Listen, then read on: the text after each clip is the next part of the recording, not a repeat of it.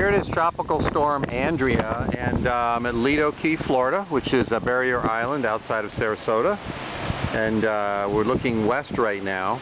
Big squall line just came through and uh, soaked the whole place down. You see a little bit of flooding on the street here. And uh, you can see the uh, big mahogany tree across the street blowing around quite a bit. And uh, But it's, it's not doing too bad. Just had a lot of rain during the day and see a little more flooding down at the corner of the street. Let's walk down the street a little bit and see what we have down here.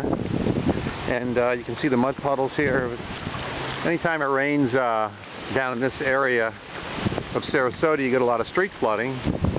And uh, But it doesn't look too bad. You can see the trees blowing around quite a bit, and you can hear it probably in the video. Feels like there's another squall line coming through. How many people out today? Uh, this is Boulevard of the Presidents looking south. This is Boulevard of the Presidents looking north. You can see a, a truck coming by down there. And uh, he's pushing quite a bit of water out of the way as he comes. A little more flooding down there than here.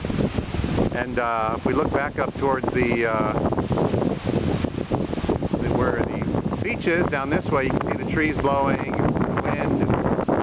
And, uh, but you can see that's the uh, Lido Beach Hotel on Lido Beach. And we're doing pretty good here.